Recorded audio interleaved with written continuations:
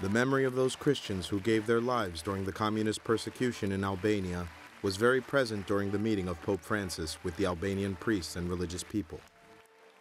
I nostri martiri sono morti gridando viva il Papa e oggi vogliamo gridare insieme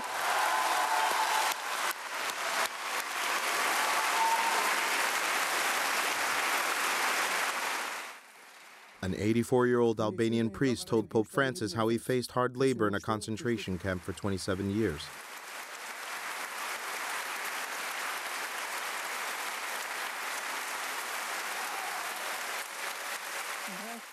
A nun who had to live in hiding also gave her testimony and could not contain her emotion when she greeted Pope Francis.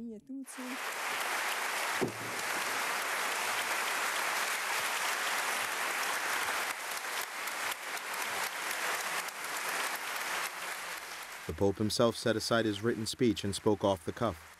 He commented on the reading from the New Testament, which spoke of the consolation that God brings to his people. For the Pope, the priest and the religious nun that shared their experiences were living examples of martyrdom. He explained how they survived religious persecution.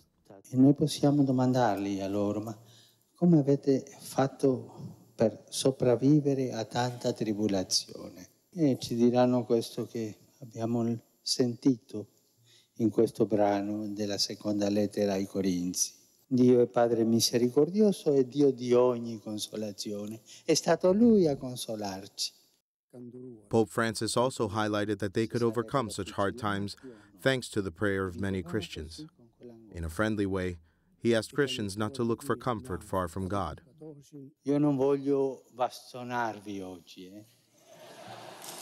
Eh, Io non voglio diventare il boia qui, ma sappiate bene, se voi cercate consolazione in altra parte, non sarai felice. The Pope admitted that he wasn't aware of how ferocious the communist persecution was until he had studied it carefully in the last two months. He also confessed that he was surprised to see how much suffering the Albanian people had endured. Before leaving St. Paul's Cathedral in Tirana, the Albanian bishops gave the Pope a cross that contained pictures of the martyrs, as well as an icon of Our Lady of Good Counsel, patroness of Albania.